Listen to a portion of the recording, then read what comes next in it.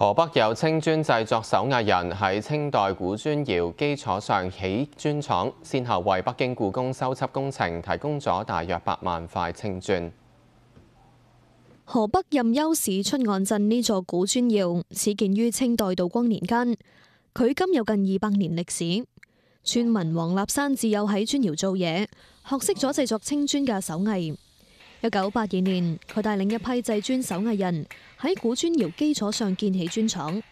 同年听讲北京故宫修葺工程招标，就孭住一块五十公斤重嘅青砖上门无水之战。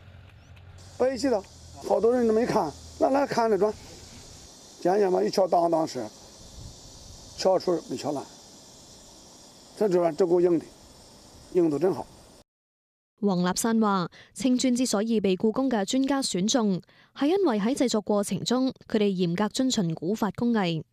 我们这个土啊，冻三换两，冻两年，冻三年，换两年，换两就是冬天冻，春天翻换一下化，冻融了它之后，这土土质收缩率都一样，几乎都是。带系个我们的厂房里边制作坯子，在厂房里脱皮不是任干之后嘅砖胚装窑之后，喺窑内要经过一个月嘅背烧。从选土到整出一块合格嘅青砖，要花近六年时间。黄立山话：，三十八年嚟，佢哋已经帮故宫烧制咗约百万块青砖。二零一二年，青砖制作技艺入选河北省级非遗名录。无线电视记者马心怡报道。